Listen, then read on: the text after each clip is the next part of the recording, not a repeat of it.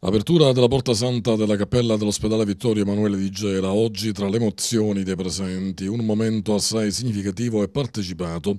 La porta è un importante simbolo, richiama il passo evangelico di San Giovanni. Io sono la porta, se uno entra attraverso di me sarà salvato, entrerà e uscirà e troverà pascolo.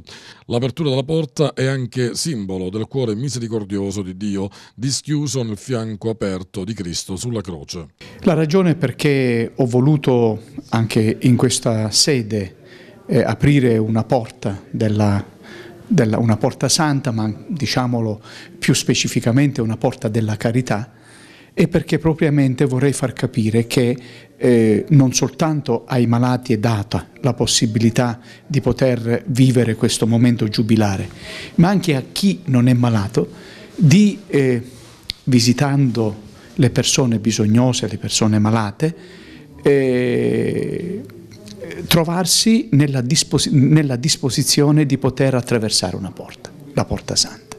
Che la porta santa non è una, un luogo eh, fisico, anche se alla fine viene considerato tale ovviamente per motivi logistici, ma è legato all'esistenza delle persone.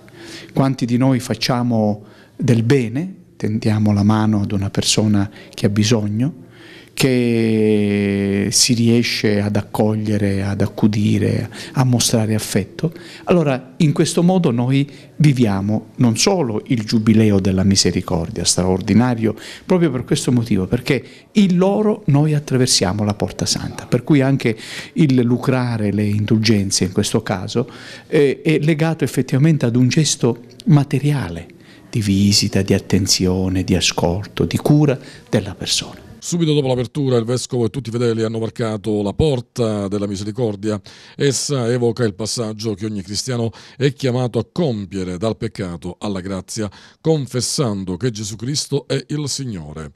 Oggi all'importante iniziativa erano presenti il direttore generale dell'ASP, il direttore sanitario dell'ospedale, il sindaco e tutto il personale medico e paramedico. Alla fine della cerimonia il vescovo ha presieduto la solenne celebrazione eucaristica con la benedizione ai malati. Eccellenza, siamo alle porte della Pasqua. Il suo augurio per questa città intera che vive un momento di assoluta crisi, eh, non soltanto materiale, ma probabilmente più che prima di ogni cosa spirituale. L'augurio più grande che le famiglie, anzitutto, possono trovare la gioia di poter condividere assieme non solo questi giorni di festa, ma sempre condividere assieme il pane che viene guadagnato con il sudore della fronte.